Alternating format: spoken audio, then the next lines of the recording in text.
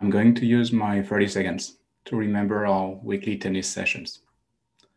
From October to May, we would book a court at the tennis bubble at MIT, almost every year for around 10 years. We would spend a big chunk of our tennis time talking, not playing. We made very little progress in tennis. But Emmanuel became my best friend on this side of the Atlantic.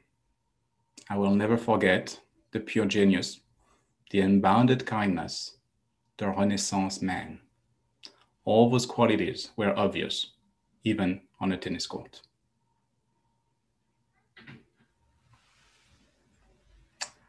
I met Emmanuel 15 years ago or so at BU after a seminar. A few years after that, we started playing tennis regularly, once a week, every week, from October 1st to May 1st at the MIT uh, tennis bubble.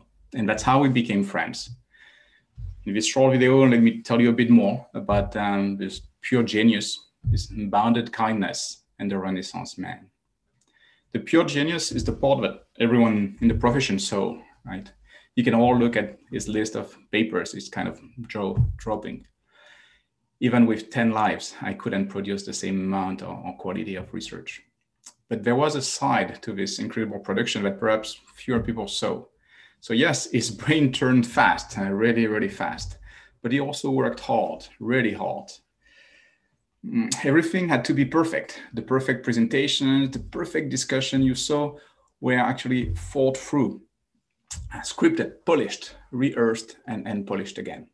So he had the perfect brain and not an ounce of laziness. He was always working, uh, actually, even when we were playing tennis a long time ago, more than 10 years ago, he told me about an idea while we were resting on the side of a tennis court. I joked that uh, he would have a paper written before our next tennis game, tennis game. And uh, of course he did, right? But there are so many smart people in our profession, um, that's for sure. But kindness seems often in short supply. Emmanuel was a pure genius with an unbounded kindness. Since he passed away, I thought about our conversations a lot I can't remember him saying anything bad about anyone, ever. Not a single time in more than 10 years. Even when we were both letting off steam on the court, even after long dinners at home, even after a few glasses of wine, he never said a bad word about anyone. We talked about life, about love, about colleagues, about professional successes and frustrations too. And as I vented my spleen about the work, he gently mocked me for being ungenerous. I hope that actually his example made me a, a better person. We never played a match, I talked about tennis. Um, I think we never competed because he was not there to win. Instead, actually, he worked on beautifully executing forehands and backhands, actually, especially backhands.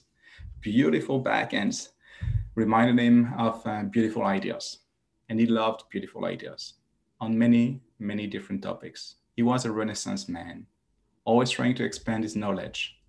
He and came to our house to watch the 2016 election results. He kept asking my wife, the only American in the room, uh, why, why Trump was winning. She had no answers. Um, after that, he decided to read about political science. And within a few months, he had devoured all the classics that science both taught. But this is just a single example. He was insatiable curious he was just as likely to read uh, frontier research in, in physics or, or biology. I, I, could never keep up. But that didn't matter because he actually loved to share what he learned. Not because he wanted people to know that he, he had read something, but because he loved the discussions, the debates, and the intellectual engagement. My wife, who's an anthropologist, was always floored by how much he knew about things way outside his field. Emmanuel was such an important part of my life on this side of the Atlantic. He played with our children.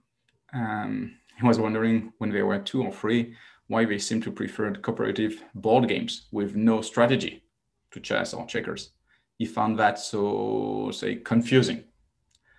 But it was cool. We celebrated Jewish holidays together.